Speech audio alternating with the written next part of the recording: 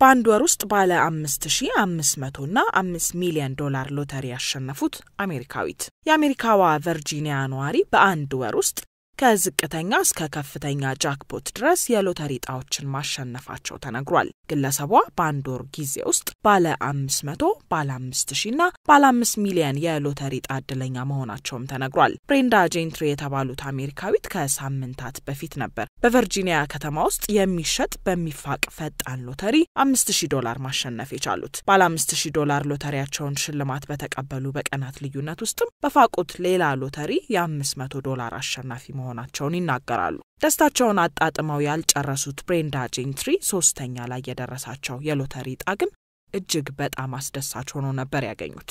ብሬንዳ ጄንትሪ ከአንድ የምግብ መሸጫ በቆረጡት የሎተሪ ቲኬትም የአምስት ሚሊዮን የአሜሪካ ዶላር አሸናፊ መሆን ችለዋል። አንድ ወር ባልሞላ ጊዜ ውስጥ የሶስት ሎተሪ እድለኛ የሆኑት ብሬንዳ ጄንትሪ ግብር የተቆረጠለት ሁለት ሚሊዮን ስምንት መቶ ስምንት ሺ ዘጠኝ መቶ ሰማኒያ ዘጠኝ የአሜሪካ ዶላር ተቀብለዋል። አሁን ያለኝን ኑሮ መቀየር አልፈልግም ያሉት ብሬንዳ አዲስ ባገኙት ገንዘብ የሚሰሩትን ለመወሰን መቸገራቸውንም ተናግረዋል።